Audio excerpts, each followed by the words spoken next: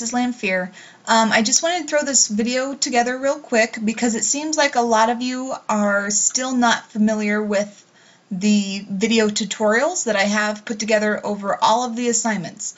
And I know the text can be kind of confusing when it comes to completing these assignments, which is why I put together step-by-step -step tutorials completing all of the assignments, um, again, step by step. So to access these videos, you have to go on our course homepage. I'm on the homepage of our course right now. There's this announcement called Assignment Video Library.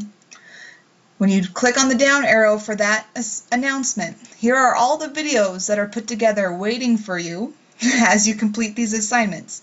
So if you're stuck on the Create an Invitation assignment, you'll click on this link, and this takes you to a step-by-step -step tutorial of how to complete this assignment. Okay, I've recorded myself completing this assignment step by step. So this will show you how to complete that assignment. So you can follow along, you can pause it, you can, maybe you've started it and you understand the first part, but something towards the end's thrown you off, you can fast forward to that portion.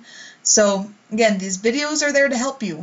and I just record myself doing the entire assignment step by step so that you can follow along and get these assignments completed. I have them for all of the assignments we've had so far.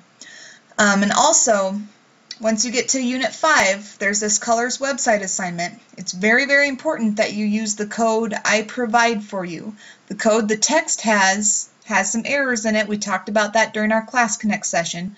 So you need to use the code, the link to the code here that I provide for you, not the code that's provided in the text.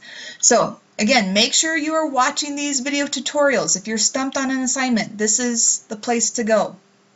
And um, to help work through any bumps, again, feel free to try out assignments on your own. And if you get stuck, refer back to these videos, or you can just start out with watching the video to make sure you're doing the whole thing correctly. So just wanted to remind you all that these are here and these are available to you to you and I, I really really encourage you to watch these because I've gotten some really good feedback from the students that do use these so make sure you are watching these tutorial videos over the assignments.